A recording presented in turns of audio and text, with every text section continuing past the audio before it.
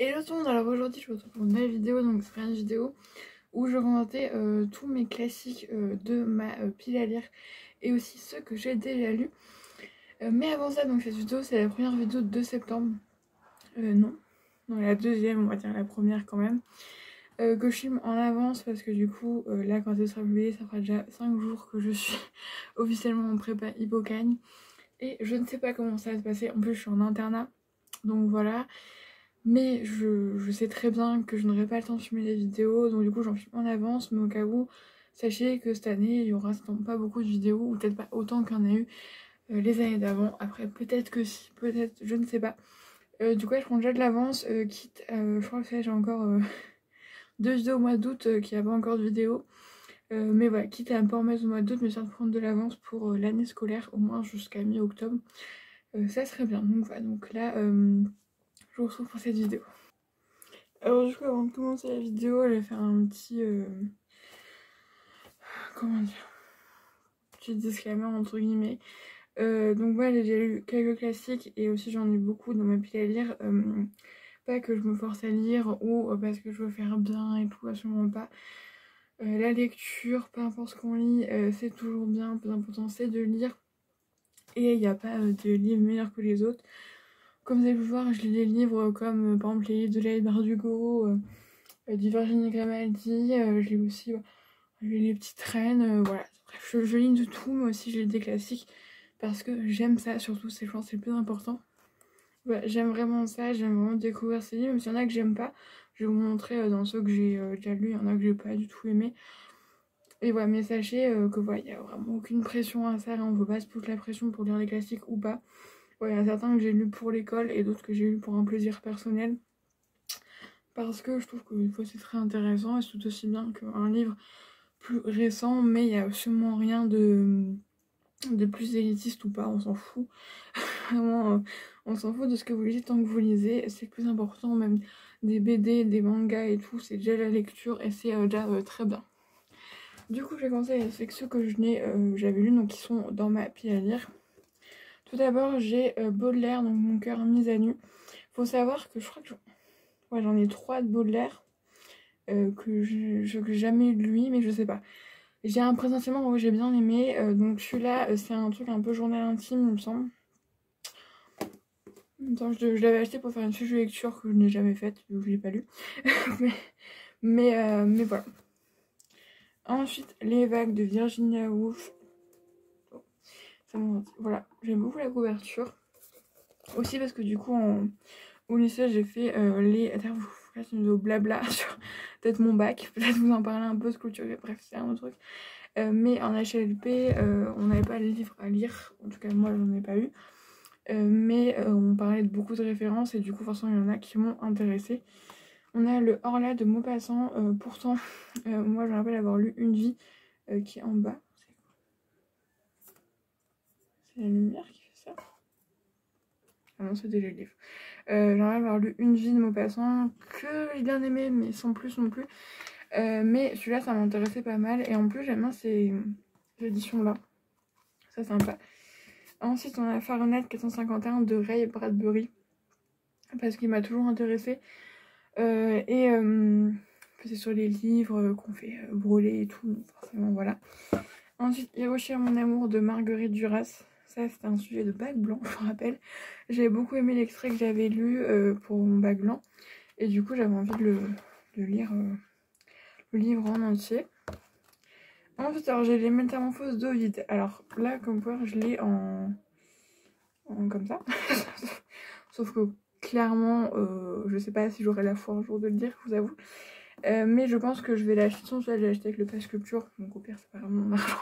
Euh, mais euh, ça, je pense que je vais l'acheter dans l'édition le livre de page jeunesse, qu'en ce moment je suis en train de lire l'Odyssée d'Homère.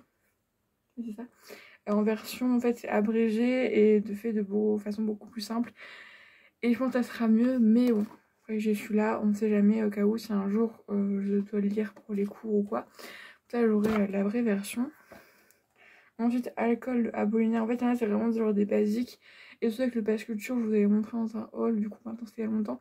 Euh, j'en ai profité euh, pour acheter. Alors, ça, les fleurs du mal de Baudelaire.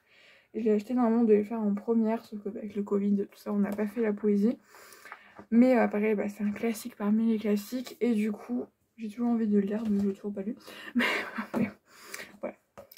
Ensuite, le portrait de Dorian Gray de Oscar Wilde. Voilà, parce que pareil, en fait, beaucoup de fois, je l'ai vu dans ma scolarité. Ensuite, on a La métamorphose de Kafka. Euh, qui en plus a l'air quand même assez simple à lire. Euh, et bon, en fait, ce qu'il y en a, en fait, c'est vraiment plus des intemporels. Et je me dis, faut les avoir lus. Ah, c'est pas du tout en accord avec ce que j'ai dit en début de vidéo, mais voilà. Euh, ensuite, j'ai deux de Annie Arnaud. Donc, il y a Les années et Mémoire de fille. Vous savez que j'adore Annie Arnaud et je vais en parler de deux. De deux euh, dans les livres lus. Donc là, deux d'Annie Arnaud. Ensuite, Orgueil et préjugés de Jane Austen. J'ai adoré Raison et Sentiment. que je vais normalement vous parler après. Je l'ai pris non je sais plus, bref. Mais voilà, je, donc euh, ça c'est un classique. Ensuite pareil, euh, Albert Camus, L'exil au royaume, j'ai adoré. Euh, L'étranger, il y a la peste aussi, plus loin, apparemment.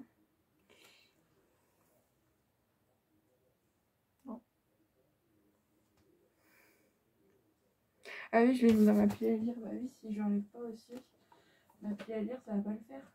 Attendez, Voilà c'est ma pile à lire de l'été. Euh, du coup, l'exil au royaume. d'Albert Camus. Donc, la peste d'Albert Camus. Voilà. Ensuite, j'ai le rouge et le noir de Stendhal qui m'attire beaucoup. Mais c'est quand même une pavasse et c'est écrit tout petit. Je pense que je l'ai emmené avec moi en vacances. Comme ça, j'aurais pas le choix de, lire. Euh, ensuite, j'ai 1984 de George Orwell. Voilà. Euh, ça, c'était mon prof de philo, qui l'a donné. Euh, c'est un, livre de Platon. Aboué Socrate, c'est son procès. Intéressant. Jeanne Hir de Charlotte Bronté, qui paraît être une pavasse. Ensuite, on a le spleen de Paris de Charles Baudelaire. Parce que le spleen, voilà, le spleen Baudelaire, voilà. ça, en fait, de base, c'était pas du tout ce que je voulais.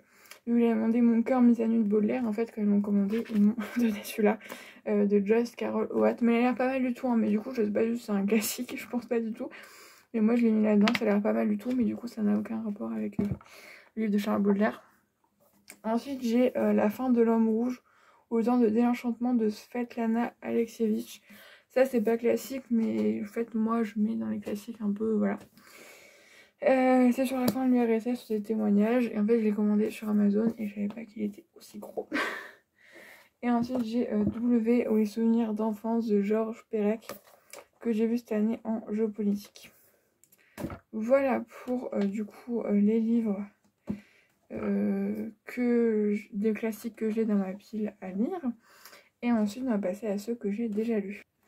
Alors du coup, on va commencer euh, par les fables de euh, Jean de La Fontaine que j'ai vu à peu près 40 millions de fois, je pense comme tout le monde ici. Et du coup, en première, j'ai dû acheter le livre. En c'est juste que j'en peux plus de La Fontaine. Mais du coup, bah, en fait, je le garde quand même parce que je pense que je vais le revoir dans mes études l'année prochaine. J'en suis presque persuadée. Surtout que le programme est libre, donc souvent quelques petites fables voilà, donc ça, mais on va dire, c'est pas que j'aime pas. Parce que il euh, y en a que je trouve agréable et tout, mais c'est juste vraiment un bourrage de crâne. Et au bout d'un moment, on peut plus quoi. Chaque année, tu le fais. moi, euh, Ensuite, on a La vague de Todd Strasser. Pour moi, ce livre est génial. Vraiment, euh, moi, faut savoir que je suis, je sais dire passionnée par déjà tout ce qui est l'histoire l'histoire en général, et surtout celle du XXe siècle, et encore plus précisément celle de la Seconde Guerre mondiale, parce que en fait, elle me fait me poser beaucoup de questions. Euh, et quand je parle de Seconde Guerre mondiale, c'est surtout euh, tout ce qui est totalitarisme, et forcément euh, les camps nazis, ou même le nazisme en général. et surtout, ça me fait poser beaucoup de questions de savoir comment on a pu en arriver là. comment déjà des gens comme ça ont pu arriver au pouvoir, et surtout comment des hommes ont pu être aussi euh, inhumains envers d'autres hommes. Et en fait, ce livre-là euh, raconte euh, comment on endoctrine des personnes très très facilement et du coup il est hyper intéressant parce que je trouve qu'il permet de comprendre tellement de choses et de comprendre à quel point la population a été fou. Et je pense que nous aussi on serait pareil, donc voilà, ça j'ai beaucoup aimé. Pareil, un livre que j'ai adoré, c'est La chambre d'officier de Marc Duguin. Et pas passer sur celui-là, mais c'était un des sujets de mes, un, des sujets de mes grands oraux. J'adore ce livre, je l'adore et je pense que je le relirai encore plusieurs fois. Je sais pas, ce livre, vraiment, il me suit depuis le collège, mais je, l'adore, voilà. Euh, bah, ça s'explique pas. Ensuite, j'ai La place d'Annie Arnaud, euh, que j'ai adoré. Je vous en ai parlé il n'y a pas très longtemps dans un objet de lecture. Euh, c'est euh, donc Annie Arnaud qui fait un tout autobiographique par rapport à son père et qui est juste magnifique, juste. Voilà. Et c'est super. Annie Arnaud, j'adore. Ensuite, a La ferme des animaux de George Orwell que j'ai beaucoup aimé. Et d'ailleurs, c'était celui-là que je voulais présenter au bac de français. Bon, là, je suis pas passée au bac de français. Après, voilà. Euh, mais j'ai beaucoup aimé. Parce que je pense c'est pareil, c'est sur ce cas de la montée du totalitarisme, mais avec les animaux et euh, voir un peu comment ça se passe. Et je le trouvais très bien, j'ai beaucoup aimé le découvrir euh, en première. Et il m'a laissé un très bon, bon souvenir. Et j'ai même surligné un passage.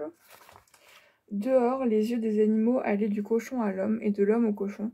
Et de nouveau du cochon à l'homme, mais déjà il était impossible de distinguer l'un de l'autre. Mais j'aime beaucoup ça et j'ai hâte de lire en 1984. Ensuite, on a la cantatrice chauve et la leçon de Eugène UNESCO. Alors, Eugène UNESCO, c'est vraiment le théâtre de l'absurde. voilà. C'est lui qui a inventé Il me semble que ça. Bref, c'est le théâtre de l'absurde, donc soit on aime, soit on n'aime pas. Et du coup, c'est vrai que moi, je suis un peu mitigée avec ça parce que j'ai quand même passé un bon moment. J'ai bien rigolé. Mais en même temps, c'est pas ce que j'ai préféré. Et déjà, j'aime pas lire du théâtre. Parce que moi, j'ai la fâcheuse tendance quand, bah, du coup, quand je lis, c'est qu'en fait, c'est que je lis juste les paroles, mais pas qui c'est qui parle. Donc, quand il y a que deux personnes, je comprends. Mais du coup, là, euh, des fois, je suis perdue. Quoi. c'est. Ensuite, j'ai lu Le Parti pris des choses de Francis Ponge. Alors, ce sont des poèmes euh, contemporains euh, je vous en ai parlé l'année dernière, je l'ai lu pendant le confinement, ou après le confinement, peut-être en mai-juin. Il y a quelques-uns qui m'ont bien plu. Mais voilà, c'est pas forcément mon style de. Voilà, c'est pas le livre que j'ai préféré. Après, ça s'est lu. Voilà, je lisais un poème de temps en temps, c'était sympa. Ensuite, j'ai lu L'étranger d'Albert Camus, un coup de cœur. Euh, j'ai lu en seconde, il me semble. J'ai adoré. Voilà. Vraiment, j'ai surtout la deuxième partie avec la notion de peine de mort et tout ça. Il a pas reçu un prix de littérature pour rien, j'ai adoré. Ensuite, j'ai lu euh, Lettres aux instituteurs de Jules Ferry. Donc, c'est un tout petit livre euh, comme ça où, en fait, Jules Ferry s'adresse aux instituteurs. Euh, et c'était très bien. J'ai bien aimé le découvrir, du coup, j'ai lu tout la suite. J'ai bien aimé, surtout que moi je veux devenir institutrice. Donc c'était assez cool à découvrir. Mais j'ai pas... ah si, il est là. Non? J'ai perdu raison et sentiment. Oh, il est foutu. Bref. Ensuite, j'ai lu Vipère au point de Hervé Bazin. Alors que j'ai bien aimé. Même si c'est un peu, un peu, comment dire, sado, un peu méchant de dire ça. Mais en fait, je préférais le moment où il y avait les, euh, affrontements entre euh, euh Bouillon et euh, Folcoche. voilà, c'était le moment que je préférais, entre guillemets. mais j'ai beaucoup aimé. Voilà, ce petit livre est assez sympa à lire. Je l'ai lu l'été dernier. C'était sympa. Ensuite, j'ai lu Les souffrances de Jeune Werther de Goethe. Donc, ça, ça fait pas si longtemps que ça que je l'ai lu. Je l'ai lu en avril, je crois. Euh, bah, attendez, j'ai ma feuille, je vais vous dire. Je l'ai lu euh, le 30 avril. Voilà, bah, je l'ai fini le 30 avril en tout cas. Euh, alors, comme je vous l'avais dit dans la chronique, j'ai bien aimé. Mais on me l'a beaucoup vendu. Et surtout, j'ai trouvé que Werther était un petit peu euh, drama queen, quoi. Voilà. Après, euh, ensuite, j'ai lu euh, Des fleurs pour Algernon de Daniel Case. Ça, j'ai beaucoup aimé. Ça, j'ai trouvé très bien. J'ai trouvé très touchant. donc, surtout avec Charlie, que j'ai adoré. Vraiment, j'ai adoré. Et c'était vraiment un très très bon livre que j'ai adoré découvrir. Ensuite, j'ai lu euh, La femme gelée d'Annie Arnaud. Voilà, si vous défendez la cause féministe, ce que j'espère quand même, euh, faut lire ce livre déjà.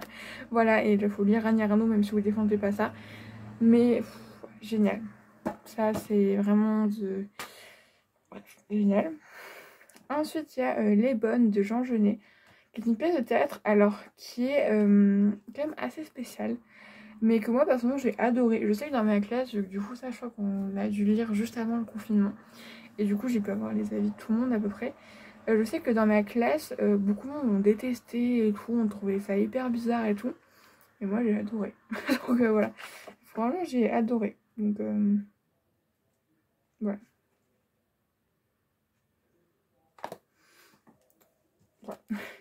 En fait, bon ça il est dans les livres lus mais je vois un petit peu, moi je l'ai pas vraiment lu.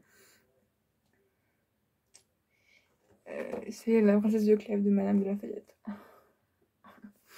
Je l'ai pas vraiment lu, pourtant j'ai fait un DM sur ça pendant le confinement l'année dernière.